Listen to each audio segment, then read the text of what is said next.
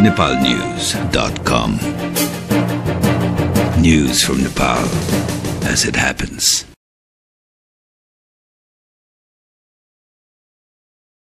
सशस्त्र प्रहरी बलको मानव अधिकार सम्बन्धी हाते पुस्तिका दुई हजार छैसठी आज विमोचन गरिएको छ सशस्त्र प्रहरी बल मुख्यालय हलचोकमा एक कार्यक्रमको आयोजना गरी सो हाते पुस्तिकाको विमोचन गरिएको हो पुस्तिकामा सशस्त्र प्रहरीले जनतालाई सेवा र सुरक्षा दिने क्रममा कसरी उनीहरूको मानव अधिकारप्रति सचेत हुने भन्ने बारेमा उल्लेख गरेको छ। पुस्तक विमोचन कार्यक्रममा बोल्नुहुँदै संयुक्त राष्ट्रसंघ मानव अधिकार उच्च आयुक्त रिचर्ड बेनेटले यो हाते पुस्तिका सशस्त्र प्रहरी बलमा आन्तरिक तालिम र अभ्यासका लागि पनि सहयोगी हुने साथै यो पुस्तकको माध्यमबाट संयुक्त राष्ट्रसंघ शान्ति सेना छनौट प्रक्रियाका लागि पनि सहयोगी हुने बताउनु भएको छ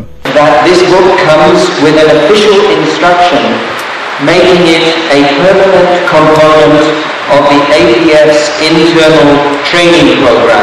With this handbook's contents will become selection criteria in determining which officers should serve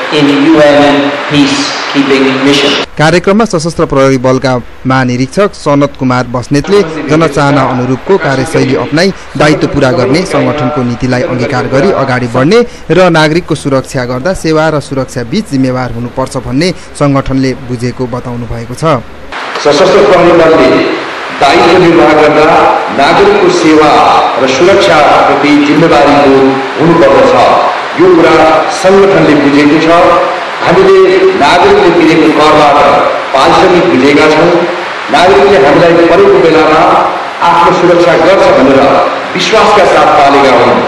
यो कुरा पनि हामीले बुझेका छौँ। त्यसैले नागरिकको करले पालिएका हामी सुरक्षाकर्मीले नागरिकको भलाइलाई शिरोधार्य गरी काम गर्नुपर्दछ। सोही कार्यक्रममा बोल्नुहुँदै इन्सेकका अध्यक्ष सुबोध प्याकुरेलले सुरक्षा सम्बन्धी अवधारणाले मानव अधिकारको सम्मान जति बढी गरेर सुरक्षा सम्बन्धी क्रियाकलाप गरिन्छ त्यति नै असुरक्षाका गतिविधिहरू घटेर जाने बताउनु भएको छ। Bureau report Nepal news dot com.